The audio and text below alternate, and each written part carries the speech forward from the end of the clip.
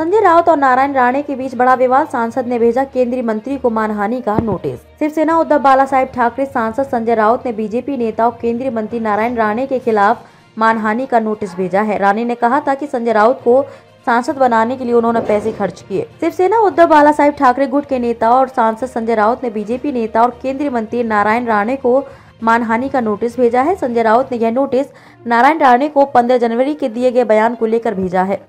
नारायण राणे ने कहा था कि बाला साहेब ठाकरे के कहने पर उन्होंने संजय राउत को राज्यसभा का सांसद बनाने के लिए पैसे खर्च किए थे। जब वे संजय राउत के नामांकन के लिए गए थे तो मतदाता सूची तक में संजय राउत का नाम नहीं था। अब नारायण राणे अदालत में संजय राउत के नोटिस का क्या जवाब देते हैं, यह देखने वाली बात होगी। नारायण राणे ने यह बयान 15 जनवरी को मुंबई के भांडुप इलाके में कोकड़ फेस्टिवल के कार्यक्रम में दिया था।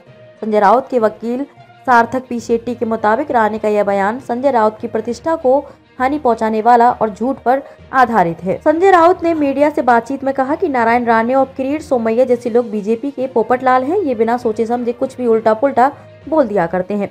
राणे कहते हैं कि मेरा नाम मतदाता सूची में नाम नहीं था, इसलिए पहले मैंने पच्चीसों बार अलग अलग चुनाव में वोट दिए थे, मतदाता सूची में नाम नहीं था तो वोट कैसे दिए?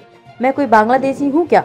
या पाकिस्तानी। राउत ने आगे कहा, अगर राणे ने मुझे सांसद बनाया तो बाला साहेब ठाकरे कौन थे? मुझे सांसद शिवसेना प्रमुख ने बनाया। नारायण राणे को भी मुख्यमंत्री बाला साहब ने ही बनाया। हमें सारे पद बाला साहेब ठाकरे ने ही दिए। नारायण राणे को अपने झूठे बयान के लिए माफ़ी मांगनी होगी। शिवसेना के सभी नेताओं पर केस दर्ज करने वाले हैं। शिवसेना के ठाकरे गुट के सांसद ने आगे कहा कि मेरा नाम मतदाता सूची में नहीं था, यह नारायण राणे अब साबित करे। राज्यसभा में मुझे चुने जाने के लिए वे कहते हैं कि उन्होंने पैसे खर्च किए मतलब क्या किया? इस तरह से पैसे खर्च करना तो एंटी करप्शन के दायरे में आता है। बीजेपी के साथ मिलकर नारायण राणे झूठ बोल रहे हैं।